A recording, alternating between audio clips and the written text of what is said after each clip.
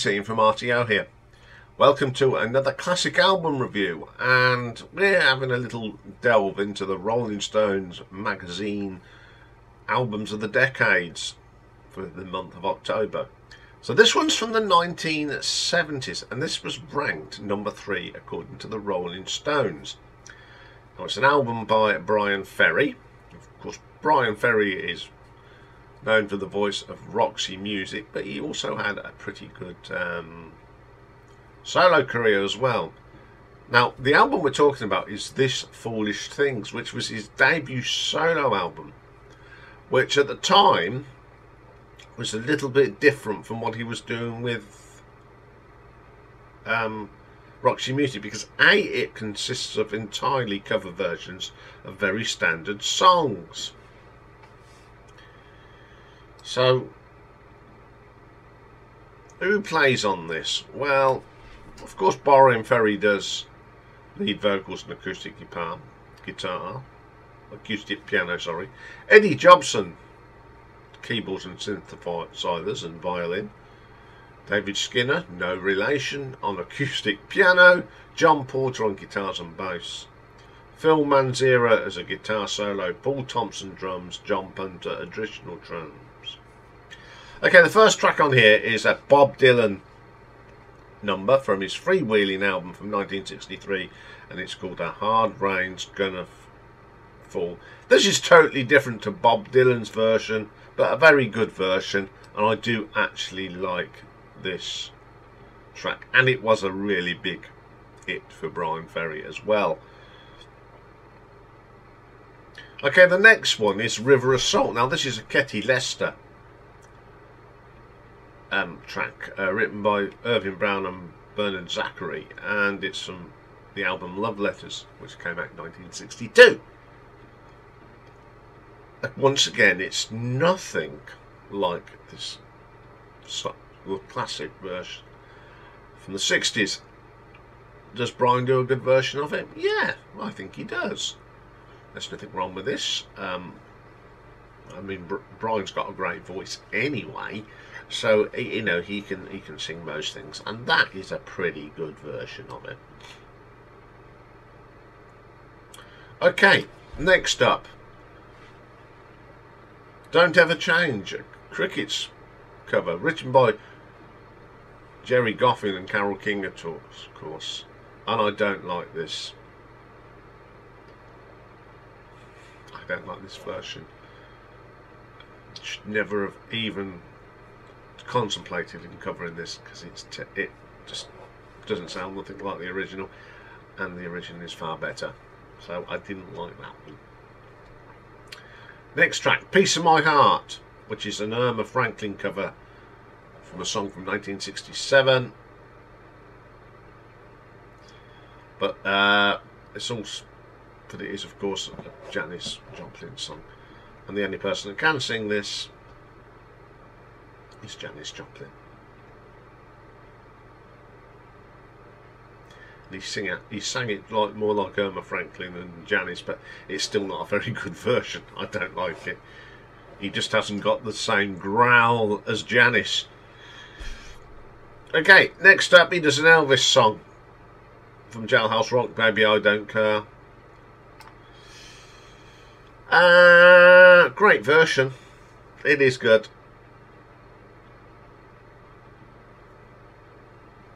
Um, nah.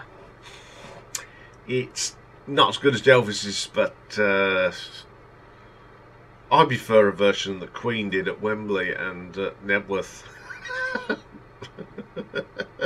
but there you go. Okay, the next one. Now this is a track called It's My Party that was done by Lesley Gore in 1963. I don't remember. I don't like this version, but who remembers the version from 1981 by Dave Stewart and Barbara Gaskin, which was a really good version. But this, now Bryan, nah, you, you, it didn't sound right. Then we have a Beach Boys co cover from uh, the Shut Down Volume 2 album from 64. Don't worry, baby, it's okay, but it just hasn't got that lovely Beach Boy harmonies on it. So it doesn't do anything for me. Then we got Sympathy for, for the Devil. Great song from Beggar's Banquet from the Stones. It just didn't sound right. Sorry. Give me the Stones version any day and for once I'd say that the version that Guns N' Roses did is a little bit better than this. Then we get Tracks of My Tears, which is a Miracles cover from 1965. I think this is a really good version of this song. This is more like it. This this sort of song suits Bryan Ferry, and I think he does a great version of it. I really like this version of the song. I like the original, but this is a really good version.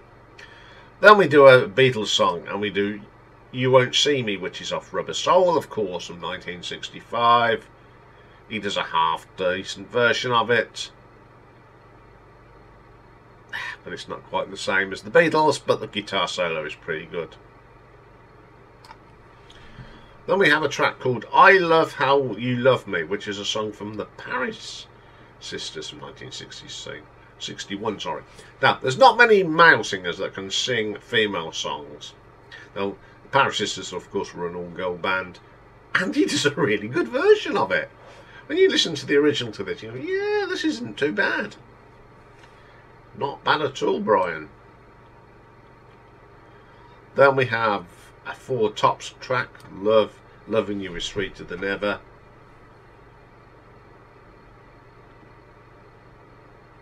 It's listenable. Yeah, that's all right. Then he does this, these foolish things, which is an old song, very old song, written in 1935.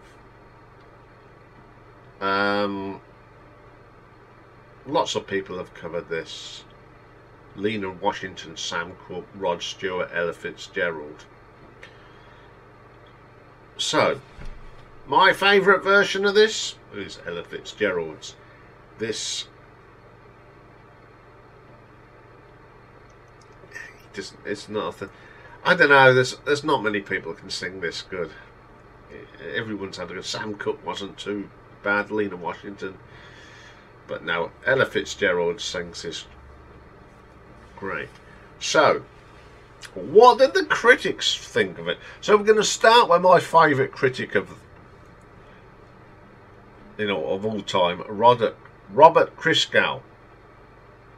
And he found that Ferry's both undercuts in, and the inflated idealism of Bob Dylan's Hard Rain is gonna fall and reaffirms the essential power and establishes Lesley's Gore's It's My Party as a protest song.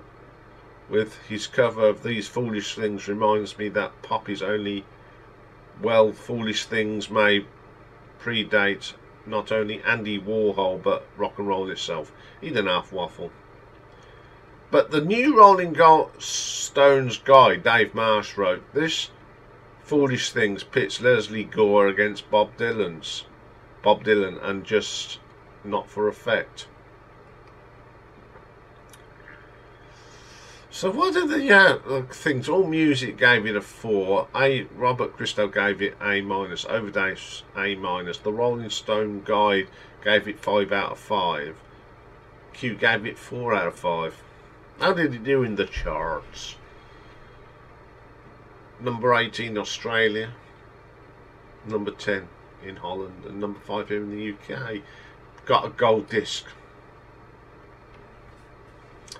Right. There are some pretty good covers on this. But there are some ones that just didn't work. He's got a great voice and it's not a bad covers or album. I don't mind listening to. it. But number three on the Rolling Stones best albums of the decades, I don't think so of all the great albums that came out in the 70s, this, it's just, I just understand where they got the idea this is what the number three album of the 70s. You know, that's just off the top of my head. 70s albums, Dark Side of the Moon, In Rock, Machine Head, Close to the Edge. They are, that's just off the top of my head. And this comes in at number three. In my books, this wouldn't even get in the top 20.